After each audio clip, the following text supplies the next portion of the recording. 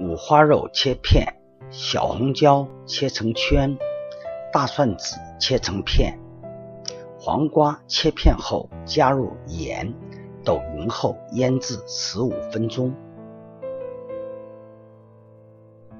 十五分钟后，按压出黄瓜中的水分，挤水后置于篦子上晾晒两小时。